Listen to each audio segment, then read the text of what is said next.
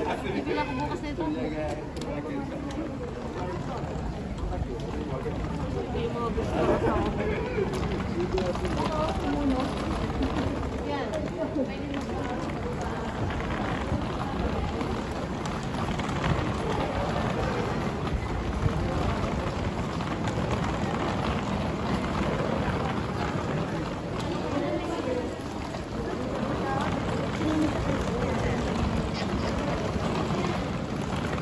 Now we're on vacation.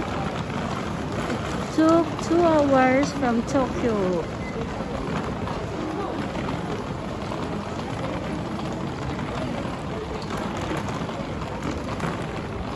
Oh, very nice. Kikiam.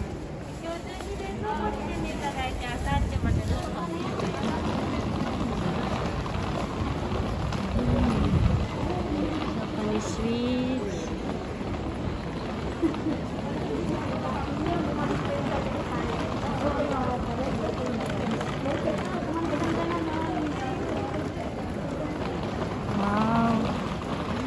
This is Japanese. Atakai omanju. Wow. Later. Atakai omanju. Mm.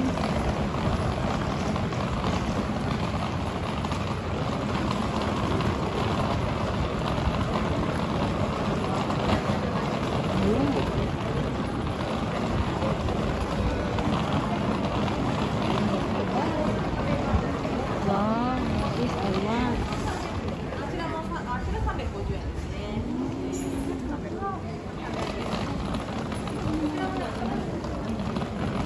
This is Japanese. Very good sweets. So delicious sweets in Japan. Very healthy sweets.